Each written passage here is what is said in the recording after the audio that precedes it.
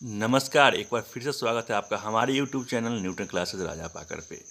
आज हम बात करेंगे दसवीं कक्षा के हिंदी पाठ्य पुस्तक के काव्य खंड, पाठ एक के प्रश्न उत्तर के बारे में। देखते हैं प्रश्न संख्या एक।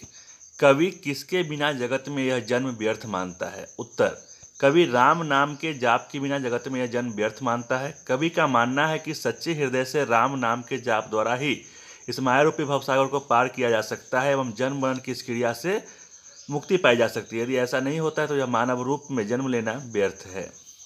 अगला प्रश्न प्रश्न संख्या दो, वाणी कब विष के समान हो जाती है?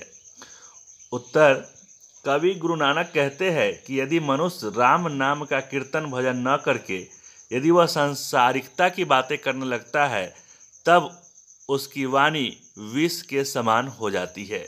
तो आज की इस वीडियो में हमने देखा, हिंदी के प्रथम पाठ, जो काव्य खंड का जो पहला पाठ है, गुरु नानक द्वारा लिखा गया कविता, उसके प्रश्न संख्या एक में प्रश्न संख्या दो को यदि यह वीडियो अच्छी लगी तो वीडियो को लाइक कर दीजिएगा। और इस तरह की वीडियो यदि आप चाहते हैं तो कम से कम पच्चीस लाइक इस वीडियो पे दीजिए। हम इस तरह की वीडियो आपके लिए लगातार लाते रहेंगे। वीडियो को अंत तक देखने के लिए आप सभी का प्रेम पूर्वक बहुत बहुत धन्यवाद।